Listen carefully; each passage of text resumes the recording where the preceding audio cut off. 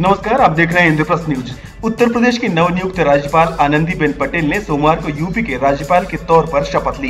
राजभवन में आयोजित कार्यक्रम में हाईकोर्ट के चीफ जस्टिस गोविंद माथुर ने उन्हें शपथ दिलाई। राज्यपाल आनंदीबेन पटेल के शपथ ग्रहण समारोह में यूपी के पूर्व राज्यपाल राम नाईक भी मौजूद रहे। सत्तर साल के बाद यूपी को आनंदी बेन पटेल के तौर पर महिला राज्यपाल मिली हैं। आज़ादी के बाद सरोजिनी नायडू यूपी की महिला गवर्नर बनी थी उसके बाद आनंदी बेन पटेल दूसरी महिला गवर्नर हैं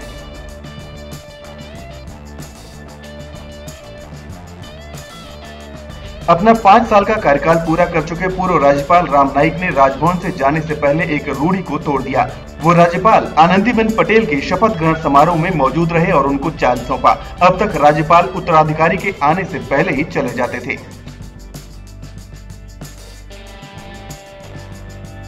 पूर्व मुख्यमंत्री और समाजवादी पार्टी के अध्यक्ष अखिलेश यादव ने उन्नाव की घटना पर अपनी प्रतिक्रिया में कहा कि बलात्कार की पीड़िता की हत्या का प्रयास प्रतीत होने वाली इस तथा कथित दुर्घटना से देश प्रदेश की हर एक माँ, बहू बेटी बहन गहरे आघात में है। महिलाओं में इस घटना को लेकर जो रोष आक्रोश है वो दोहरे चरित्र वाली सत्ता को बहुत महँगा पड़ेगा।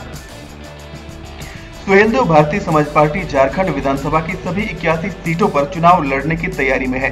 झारखंड के रामगढ़ में एक कार्यक्रम में गए पार्टी अध्यक्ष ओम प्रकाश राजभर ने कहा कि देश के नेता राजभर समाज को सिर्फ़ वोट बैंक के रूप में इस्तेमाल करते रहे हैं, लेकिन समाज के भले के लिए कुछ नहीं करते। उन्होंने कहा की समाज के लोग एकजुट हो तो ऐसे नेता पीछे दौड़ेंगे।